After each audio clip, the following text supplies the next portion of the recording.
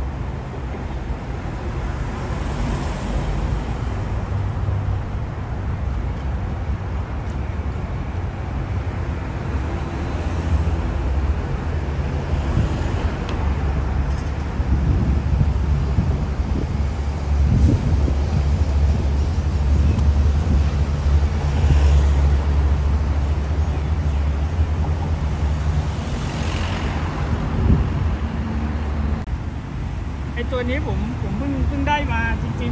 ๆผมเอามาเอามาเสิร์ฟเพราะว่ามันไม่ทัน